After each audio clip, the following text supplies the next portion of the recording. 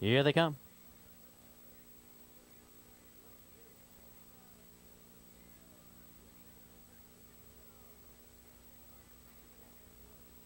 They're off and pacing.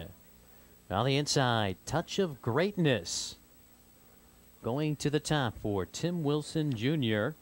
He'll take command before the field hits the first turn. Broadway preview.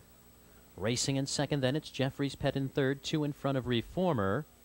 A length to Max Bow and Spartan Martin. Midway around the turn, approaching the quarter. Touch of greatness leads at a length. Broadway preview.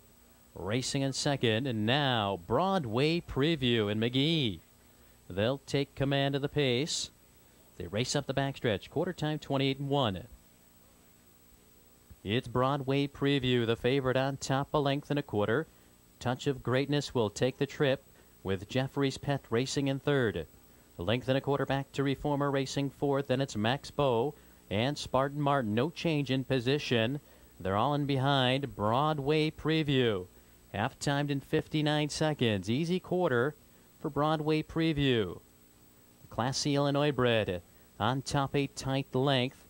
Touch of greatness right there on his back. On the outside, here comes Reformer.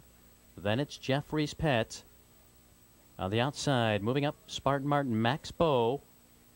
At the end, but only about six off the lead as the field turns for home. Broadway preview leads it by two, three quarters, 130 and two. Three sixteenths to go. They're on their way home. Broadway preview. In rain to Dave Magee. On top of length, Reformer.